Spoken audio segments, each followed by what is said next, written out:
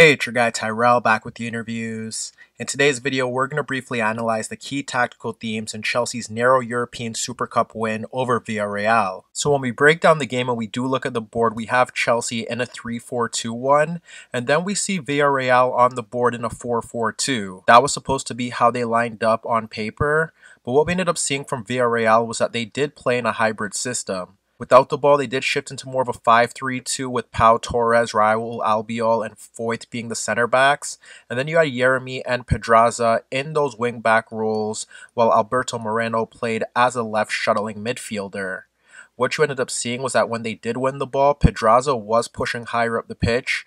Alberto Moreno was initially dropping off into an inside left position to provide cover, but then you would see him shifting forward to join the attack, and that's when Villarreal did look like more of a 3 2 5 in possession. Nevertheless, you could make a case that this was a game of two halves, and initially it was Chelsea creating several issues for Villarreal what their approach was against this 5-3-2 that did sit off was that you ended up having Havertz, Werner, and Ziyech occupying the center backs, and Chelsea were trying to get Hudson-Odoi and Marcos Alonso to peg back Yeremy and Pedraza, and then make runs in behind to break into those half spaces. So what you ended up seeing was that Ziyech was occupying Pau Torres, you had Havertz ahead of Foyth, and then Werner was in that gap between Raul Albiol and Torres. So what we often saw was that Havertz and Werner were making runs to drag away Raul Albiol and Foyth, and then Ziyech was occupying Torres or sitting in that Torres-Pedraza gap.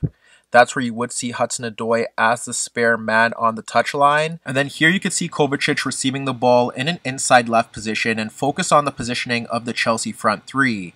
Werner's looking to make a run in between Raul Albiol and Foyth. Havertz is occupying Raul Albiol, and then you can see Ziyech in that gap between Pedraza and Pau Torres.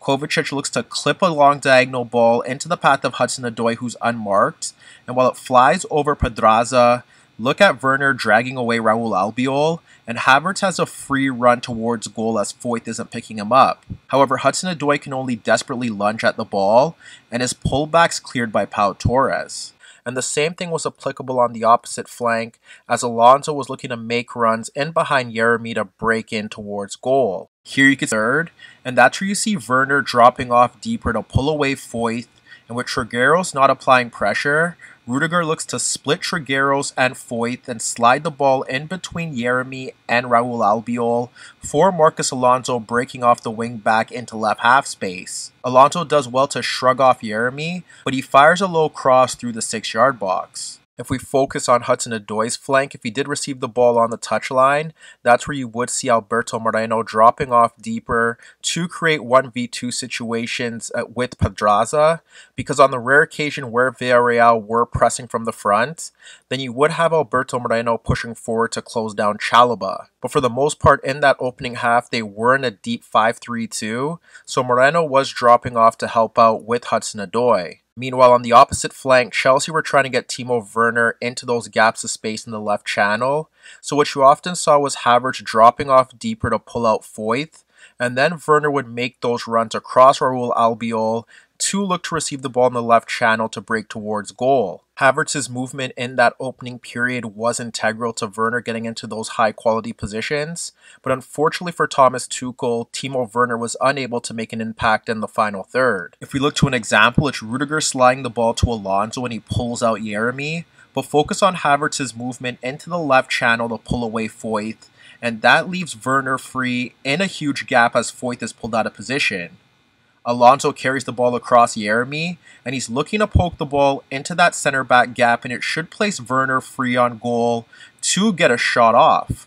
But when Alonso pokes that ball into the path of Werner, although he does receive the ball across Foyth, Raul Albiol does read the threat, and he gets across to force Werner towards the byline, and his pressure is good enough that Werner ends up carrying the ball out of play. The other key component to how Chelsea were successful in that opening half was that N'Golo Kante and Kovacic did a very good job, along with the center backs, of breaking up play when Villarreal were looking to break in transition, and to no surprise, when Kovacic and Kante were able to win the ball in Villarreal's third, they were able to help Chelsea break in transition possession, and that resulted in their goal. In the build up to Chelsea's opener, you could see Gerard Moreno receiving the ball from a clearance and focus on Kovacic, who's a few yards just in behind him. As that play develops, Kovacic does a very good job of tracking back, and he ends up poking the ball away from the Villarreal striker, and that allows Chelsea to break forward swiftly. If we speed up the play, what we end up seeing is that Alonso slides the ball across Yeremy into the path of Havertz, who's making that run in between Foyth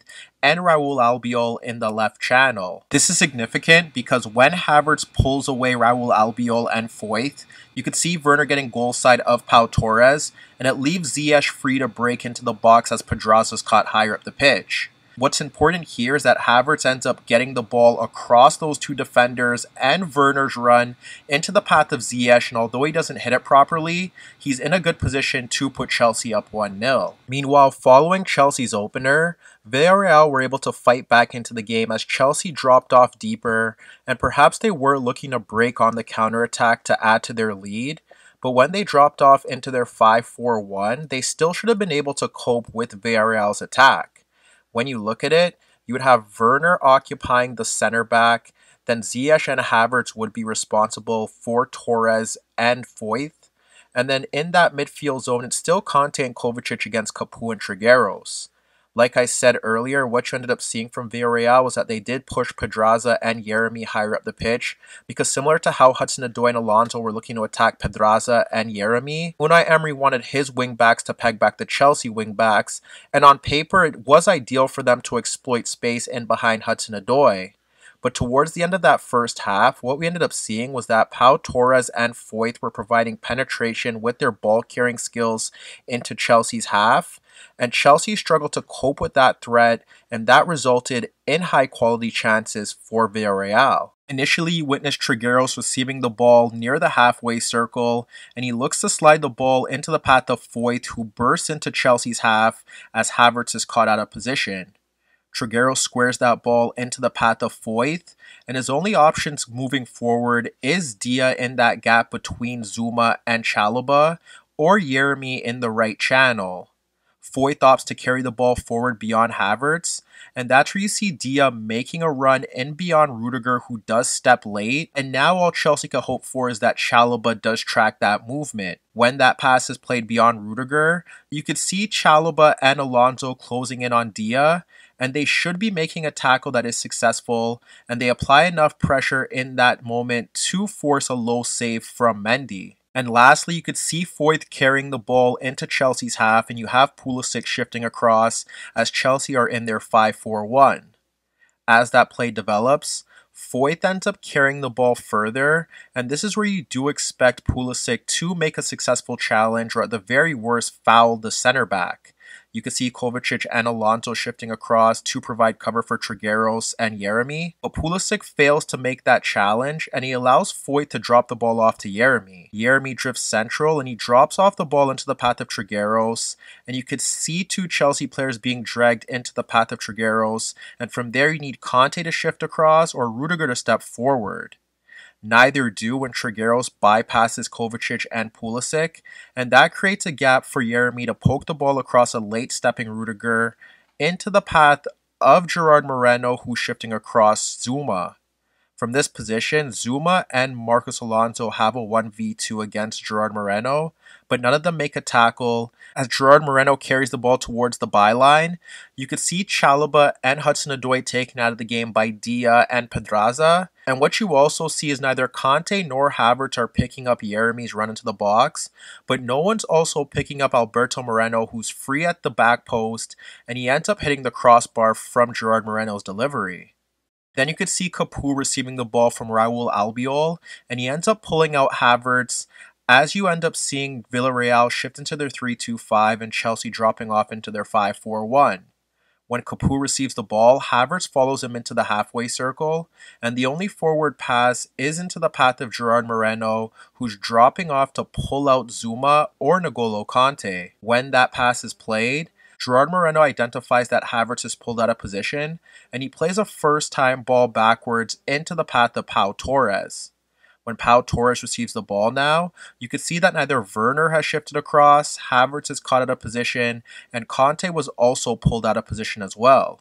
So that allows Pau Torres to carry the ball into Chelsea's third. And now you should focus on Trigueros, who's beginning to make a run off of Kovacic. As Pau Torres carries the ball further, you end up seeing that run off Kovacic, but you can now see Dia shifting laterally to occupy Rudiger, and that creates a gap for Pau Torres to exploit if he's able to clip the ball into the box. Pau Torres tries to play that long ball into the unmarked run of Trigueros, but his pass is slightly overhit and it allows Alonso to clear his lines for a corner. And then when you focus to the second half, you can say that Chelsea's shape was now more of a 5 2 3 with Pulisic and Havertz looking to be a bit higher up the pitch near Werner. And that's where you did see more of a pentagonal shape around Trigueros and Capoue to ensure that they couldn't get on the ball in that midfield zone. Still, the pattern of the match followed a similar theme.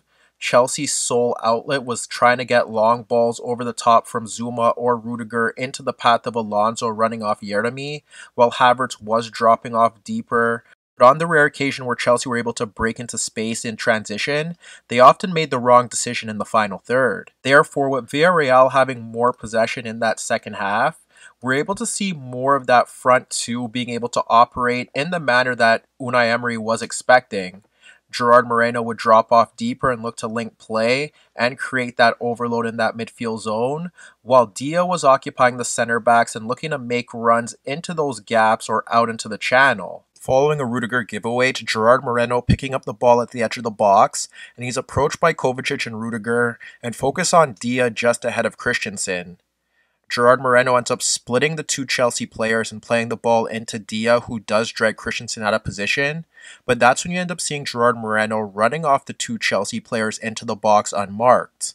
Dia notices that and he backheels the ball into the path of Gerard Moreno, taking out Alonso and Christensen, and it places the Villarreal striker in a position to equalize the game. Following a punt from the Villarreal goalkeeper, focus on Gerard Moreno stepping ahead of Rudiger to nod the ball in behind Marcos Alonso into the path of Yeremy.